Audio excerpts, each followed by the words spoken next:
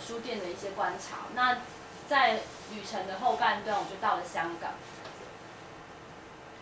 那呃，香港其实它整个地景跟跟整个模式、书页的样子都跟美国非常的不一样。那其实我一开始去的时候，其实有一点，就是不是有一点，是非常不能习惯，因为在美国我已经很习惯慢慢走路，然后我出去都穿夹脚拖嘛，就慢慢晃晃晃这样。可是我一到香港，到那个地铁一出来，我就开始一直被别人推挤啊，然后踩脚，然后很不耐烦的看我的，然后整个。整个整个心理的状态有有经过一番调整啊，因为突然之间你从一个幅员广阔的地方，然后一切都非常自由的地方，然后突然又又锁到，就是浓缩到一个华文地区，然后整个非常狭窄、嘈杂的一个地方这样。所以他一开始真的没有我当时梦想当中这么好，可是就还就是到了上下班时间，人都像瀑布一样流下来，就是那时候刚好。那个香港的书展，他们有一个有一个很大的办了五天的书展，就像台北书展一样，他们也每年都会办一次。那其实其实香港的，我就是想说，那就是赶到香港的书展去，因为在我我自己认为啊，书展应该是一个比较集中，书页比较集中的一个空间跟时间，然后我可以在里面看到，可以一次看到香港有哪些出版社，或者说他们的书的状况这样子。所以那时候五天的书展，我就去了五天，我每天都去。那我就等于就是我的观察，就是从书展开始观察起。对，就是书展的现场。其实可能如果大家有到台北去逛书展的话，也许是差不多的。但是我觉得香港的的状况又更更疯狂，就是人整个非常拥挤，而且本来以为第一天跟最后一天人会比较少，结果没有，就是从第一天到最后一天人都是这么的多，就是。然后每一个人都是带着行李箱进去的。对我以前真的很 confused，为什么大家逛书展要带行李箱？然后我看了那一场之后，我就了解，因为他们就是我我自己认为，其实香港香港的因为时间时间，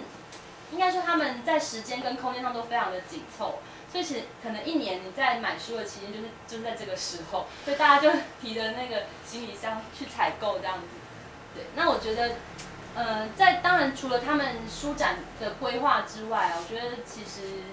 呃，看到比较多的就是，其实我觉得他还蛮有一种进去的一种大乱斗的感觉，因为真的太多太多书跟抢生意这件事情，然后而且大家通常万头钻洞都是在，呃，台版书的地方。就是我还蛮讶异的，因为我本来以为我到香港去，我应该可以看到比较 local 的的出版社他们所出版的东西。可是后来发现，其实香港人对台湾的流行的文化非常的喜欢，所以整个就是整个就都是在那个，例如说他们可能就会有很多是偶像区啊，然后画报啊那种写真集啊那样子，然后大家就疯狂的抢这样。所以我就是，然后他们很喜欢把作家呃。放大成一个，就每个人都像吴淡如了，你知道吗？就是对，就是每一个人都是很美，然后什么张小娴啦，什么梁望国，反正就一堆人，然后大家都是穿的很美，然后在就是有一个很大人体人形海报会放在书展的入口这样，然后所以我觉得他们其实就是有一种泛明星化的状态，就是把作家就是推成那个样子，好像这样才能够赚钱一样。然后后来我就。就是参观完大概七天的呃五五天的书展之后，我就开始到找香港的 local 的书店嘛。那其实嗯，我我下的标题就是它是一个百花齐放的杂居景观。这个地方是在香港的旺角，它其实书业就是比较集中在这个地方，因为香港其实也不是那么大。那呃，我觉得在跟跟美国比较不一样的是说，美国它可能很它的土地范围非常的大。然后每一区有它的特色，所以其实社区型的书店在那个地区就会扮演蛮重要的角色，而且整个比较和谐这样。但是在香港，因为反而变成书业比较集中，就越集中，你反而越容易被看到。所以在香港，我觉得可能大家都很忙，所以你不会特别特别去找一个找一个呃书店到底在哪里。所以大家习惯买书就去旺角，那所以书店都通挤在这边。那你可以看到，其实。呃，看这样的一个一个标志，你就可以看，你看梅心书店，请按七字。这栋楼还算好的，因为它有电梯，它就在七楼。对，然后其他的大部分啊，的那种所谓的书局都是在卖中学课本比较多，就是教科书这样子。对，然后当然它还是有一些有一些不错的书店的，但不是不是那么的多这样。然后嗯，可以看到香港的的书，其实就有点像是我们在台南的二手书店那种样子，就是它可能有没有什么太明确的分类，然后地区也比较小，然后像左边这个。这个图书公司，它其实就是在一个旧大楼的地下室，然后它的骑楼摆出两个柜的书这样子，然后整个就是非常的乱，上面还有一只招财猫，就是非常的明显。对，然后右边的话，这个在铜锣湾书店，这个是比较少数分散在其他地方，就铜锣湾也有一些零星的书店，然后它也是在一二楼这样子。它是在这个书店，我就觉得它还蛮蛮厉害，因为它是开在。铜锣湾它是商场比较多的地方，所以我觉得它它其实比较还蛮站得住脚的，因为它比较久啦，就这个书店比较久。然后，其实，在香港逛书店啊，我觉得有就还蛮痛苦，因为就是很像你走到一间旧公寓的楼上，以为是民宅的地方，可是它其实是书店。像他们就会用旧公寓的旧公寓的一些机灵空间做展示，例如说他可能在。楼梯上面告诉你上面是这间书店，然后还有包括它可能像这样的一个空间呢，在台湾可能就是一个转角，但是它可能就成为这个书店的一个展示空间，告诉你最新的讯息是什么这样。所以其实可以看到他们的空间的利用是非常的，就是很辛苦，然后一直在不断的在找一个小小的空间张贴他们的讯息，这样然后只求被看到，非常的辛苦。但是我觉得他们很好的是，我觉得他们还是有一些有一些书店的的精神是被延续下来的，所以我觉得他更更辛苦，所以我觉得他很像是在石缝当中长出来的玫瑰花一样。对，那刚讲历久弥新是说，其实这个这个是香港学者马国明。他现在可能大家在一些目前香港的文化评论里面还可以看到，就是他他蛮多新出的书，对不对？因为他是近年比较多是在做做论述文化评论的部分，然后他在岭南岭南大学教书这样。但是他以前呢，其实就开了一间叫曙光书店。那这个是曙光书店，其实算是当时在香港最早的一间引进外文书的书店。那其实。他整个在当时呢，这个马国明他选书的时候，其实都是以思想类的东西为主，所以他引进了非常多呃思想的书，所以当时的知识分子大部分都，你你跟香港的知识分子谈谈书店，谈马国明，就是大家都有那个年代，就是都会在曙光书店就是遇到，可能他们有一个很大的空间可以讨论或干嘛，可是就在那个书架跟书架之间选书的那个那个那样子的时刻交谈，其实它就是就是一个思想的流动。就是非常指标性的一个书店，那后来他就就是书店就收起来了嘛，因为其实他也是有他自己后来中风了，所以就身体的状况没有那么好，所以曙曙光书店就收起来。那其实曙光书店的的的停停止营业这件事情，在香港来说是香港文化界来说是一件大事，那大家就会觉得说哦少了一个少了一个很指标性的书店，可是。就是有一个旁边这个年轻人，他是序言书社的老板，就是他们大概是三年前才开的一间书店。对，然后当时的新闻报道就写，就是他们香港的评论就写“曙光落，序言起”这样。对，就是说，其实这个这个男孩子他就他开的这个序言书社，其实就在承接了曙光书店的精神这样。所以他跟马文明其实是呃。当时他在开书店的时候，就是一直去去找马国明，然后跟他讲，所以他要开一间什么样的书店。然后他们在彼此的，就是在精神上，我觉得他是有一个传承的传承的一个意义在。对，像我讲，就是这个 Daniel，他他叫李达宁的这个序言书的序序言书室的主人，就对。然后他这个书室呢，其实是我在香港第一个去的书店。然后那时候是很有趣的原因，是因为我在。因为其实我我在台湾收集的资料，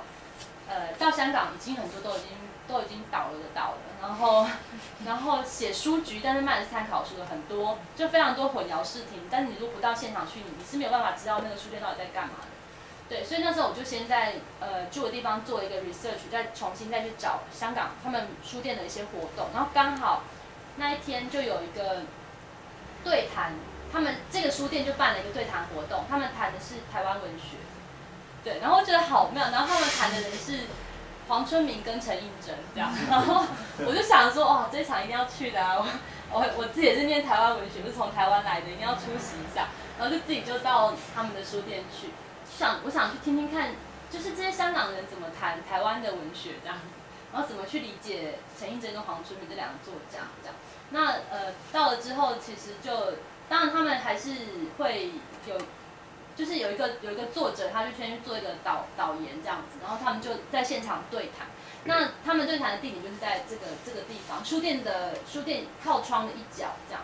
那那个靠窗一角其实平常也是，就是它也是有有桌子，就是唯一有桌子的地方，那个书店。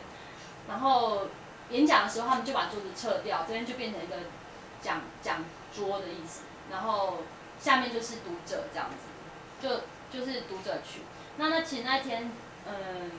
当然就是他们内容就是就是就有我有跟他们有些对谈，然后刚好那天有遇到那个董启章，他也在，然后就在那一场的谈话里面，嗯，当然我后来还是有举手发言啦，因为就是。就是有谈到一些，刚好我自己论文在做报道文学嘛，我就介绍陈映真的一些一些，我觉得，例如说像《人间》很重要的一个一个刊物，可是他们就是大家可能比较不知道的东西这样子。那也跟董启章聊了一下台湾文学的一些目前发展的东西。那他们那时候其实就还蛮想要发展，因为我们就谈到语言的语言的问题啦。因为在香港，不知道大家有看过港版的小说，其实里边会有一些他们的方言的一些文字，其实是。呃，我们是看不懂的，但是在他们的书写里面会开始运用这样子的方法，这样。那其实，在台湾台湾文学的早，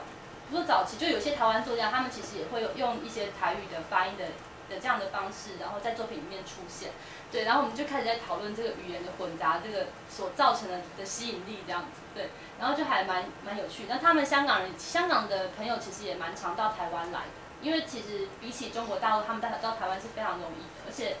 台湾比较便宜嘛，跟香港比起来，对，所以他们其实就说，其实他们想要做一个香港文学馆，那就是以台湾文学馆为一个为一个目标吧，想要做一个像类似我们的台湾文学馆一样的的一个建筑这样，对，那那天当然就是大家就相谈甚欢，然后也就因为这样就认识了达宁这样，那他们这个书店啊，它很有，它就是一个很新的书店。然后在当时，他们是三个哲学系毕业的大学生去一起开的，所以我觉得，其实，在整个香港书业里面啊，非常辛苦的环境底下，他们三个人可以在大学毕业之后，而且他们卖的书都是哲学类的东西，就超艰涩的，大家觉得进去就觉得不是 不是迎合读者那种选书就对了，对，然后有一些是英文的部分，那我觉得他其实。其实他就是有点像是当年的曙光想要扮演的角色，这样，就是在一个在香港的知识分子或文化圈里面做一个互相交流的空间，这样。对，那其实，嗯，对，所以他其实也在那趟香港的的部分帮了我蛮多的，因为就是都是书业的关系嘛，他就带我去认识一些一些书店的主人这样子。那另外一个乐文书店在香港算是老书店了，就是蛮。他主要卖卖蛮多是排版书，然后这个是他的经理叫碧芬，我就叫他碧芬姐。那其实我在，因为我去的时候就先，因为我自己还蛮蛮重视那个，因为你要跟人家聊的时候就要有一些做功课的这件事情，所以我就在嗯到当场到香港的时候，我搜寻了一些香港文化的评论的东西，就发现林碧芬这个这个经理啊，他其实就有针对一些呃香港文化现象做了非常犀利的批判，这样。所以那时候我要去访问他的时候，我心里面非常之紧张，因为我觉得就是我好怕，就是问题太不专业，然后就被奚落一顿之类的。可是没有想到，就是出出乎意料的和善这样。然后那天我本来预定的访谈只有，因为我想他很忙嘛，我本来一个半小时访谈，结果我们俩就在那里讲四个小时的四个小时的话，讲到我觉得他在我面前都已经糊掉了，就我觉得我整个精神就没办法集中了。对，然后他就带我去吃饭干嘛的，然后。然后最后还陪我走回住处，就是非常一见如故这样。然后他其实就是在香港书业待很久的人，当然他也看到了很多出版的出版的现象啊，也面对到很多书业在面对到现实的问题。那他觉得为什么他对我那么那么的好？因为他觉得怎么会，就是他觉得说一个人可以用你喜欢这件事情，然后作为一个出发的原因，他觉得这是很纯粹的。然后他自己认为，他就跟我说，他觉得我跟他一样都是笨蛋这样子。对，然后他就我记得很清楚，就是我们俩在地铁站分别的时候，他就握着我的手说，我们继续要我们要继续做笨蛋下去这样。对，就非常的感动这样。那呃，其实我觉得，在整个香港书业来来说啊，其实他们就有一句话叫做“没有独立书店，只有独立媒体”这样。就是其实香港的媒体的发展还是比较比较呃明显的啦。那书店其实，在这样子的所有的媒体的的传播媒体的来看，里面书店是非常弱势的的部分。那其实，在在香港的书业其实就是非常以主流为主。然后边缘的部分很难以难以生存，就是说他们其实非常羡慕台湾的一些书店还可以，呃，像洪雅还可以用这么就是一体式的方式存在啊，然后呃还可以坚持自己的一些理念的一些书店，所以他们其实对于对于台湾的的书业，他们是往往前看，他们觉得台湾走在他们的前面这样。那当然我们因为其实在台湾的整个整个发展上来说。我们也近年来，我们有有比较多是在地化的东西，我们有慢慢的、慢慢的开始发，大家越来越注重嘛。所以其实，嗯，就是本土这个东西，在台湾是慢慢的在扎根，但是在香港其实是非常少的。我在那边发发现更多其实是，其实是台版书跟大陆书。其实他们自己香港他们出版社。就是他们的出版业都是被几个主要的主流出版社垄断，那小的出版社其实非常难以生存这样。可是香港书业有一个优点，就是呃在地理的位置上来说，或者说在他们的政策上来说，他们都比较国际化，因为其实它的位置就是呃各国，你可以在香港中环看到各式各样的人，各颜色的人，因为它是一个很高度集中的商业跟经济中心。所以其实它的书业也符合，因为其实有读者有需求，就会有有供应的人嘛。所以在香港的书业里面，其实蛮多都是国外书蛮多的。所以我觉得他们相对来说是比较国际化。那在呃在地里，大家说两岸三地嘛，其实在台湾早期台湾引进大陆书店之前，香港他们就蛮蛮多是先阅读大陆的大陆部分的出版品这样。所以其实他们的在两岸方面的交流是是非常频繁的。这样但是相对来说，就是你的选择性多，大家就比较不会注重本体的主体的部分，那他们的主体性的的部分发展就比较薄弱一点。对，然后对，因为回到台湾的部分啊，其实呃，其实就是绕了一圈哦，我在想的是台湾的书业到底是它的特色到底是什么？其实我觉得就像刚对照了对照。香港来说，我们的在地性跟独立性都是更强的。那我觉得创造力的部分也非常的、非常的嗯好。因为其实近几年、近几年在我要出发的时候是零九年的时候，那段时间其实台湾独立书店过得不是太好。但是后来其实像小小书房的洪峰，他就有以就成立了独立书店联盟嘛。那他们我觉得业者开始自己去想。在就是想要为自己的生存奋战的时候，其实他就有了一个号召的能力出来。那小小书房近年也是做了蛮多努力，大家也可以看到他们也是朝社区的部分啊，像培养写作班啊，他们出了自己的刊物，类似这样。那当然其他的书店，台湾其他地方书店也是，呃，有有些有些不在啦。像我自己一直很很很遗憾是深耕书房在。那因为台南深耕书房，不知道大家有没有接触过，因为他的。那个老板去年去年去世了，这样，然后对，就是，但是老板娘还是非常的，就是我之前跟他访谈，因为我其实出去的之前，我出国之之前，我先在台湾几个书店有做一些简单的